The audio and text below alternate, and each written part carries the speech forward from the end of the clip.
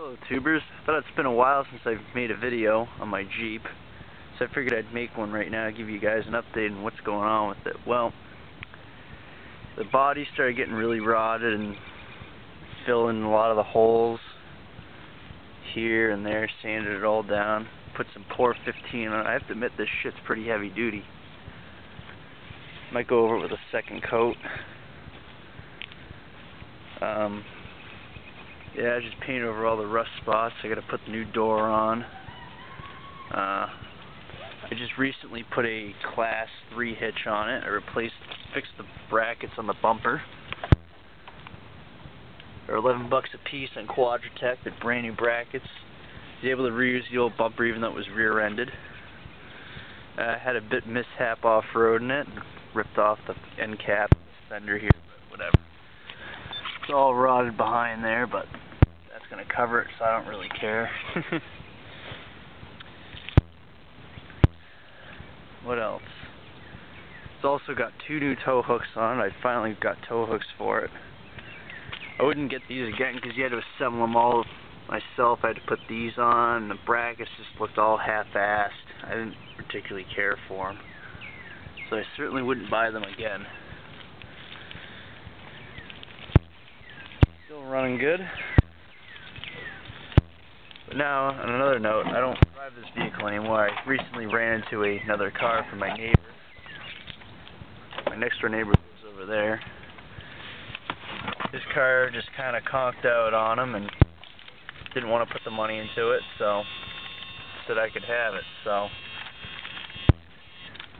I get this damn car to turn on. There we go. Still running good.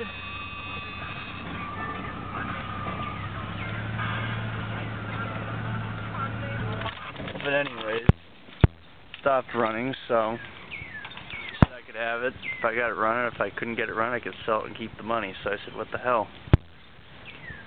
This car was starting to have its issues, and I was tired of driving it because it's a fucking gas guzzler. All it does is it drinks fuel. But anyways, that's my daily driver now. 2000 Saab 9-5 wagon. You won't believe but looking at it, but she's got close to 200,000 miles on it.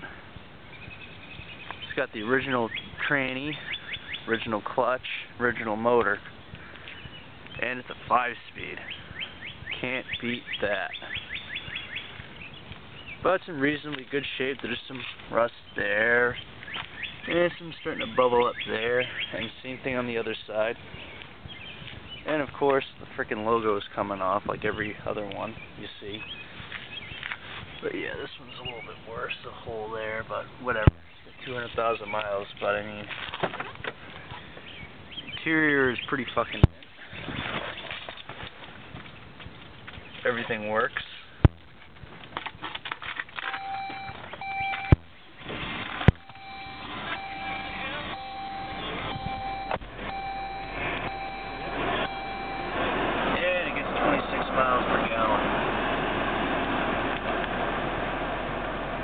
Electronic climate control. It's got issues though. The uh, thing blows hot on one side. So I had to take apart the whole fucking thing and make it work again. It also only stays on the vent, but other than that, it works pretty good. The AC works. Uh, the two front windows don't go down because the track's all fucked. But everything else works. It's got heated seats. I mean, got 196,000 miles on it now. I got it in May, and I had 192 on it. I've put a lot on it since.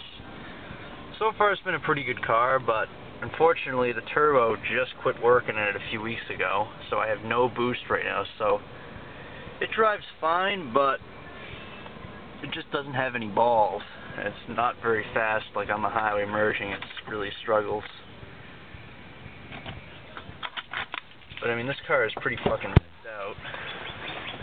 as you can see, leather's mint. Interior's kind of taken apart. It's kind of a mess right now because I'm trying to fix a bunch of things at once on it. But I mean, runs good. The reason why my neighbor didn't want to put any money into it DI cassette failed. That's a $400 item. So it is, I went to the junkyard and got one for a hundred bucks, slapped it in, and it ran, pulled it in my driveway. And then that started having issues, that one. I think there's a small crack in it or something. It was arcing out, so I just went and bought one for $290 because I can get it for a discount. Uh, that's been good. All I've had to do is put a new thermostat in it. I replaced all these vacuum hoses in an effort to get the turbo to work again. And, of course, still isn't working. Probably needs a turbo. That's about 700 bucks. Other than that, she runs pretty good, and I like this car. And it's the only one in Massachusetts with an NRA sticker on it. but not bad for free, huh? But anyways, I thought I'd just give you a little update on what's going on.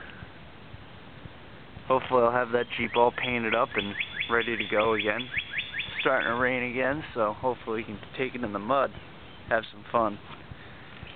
Anyways, later tubers.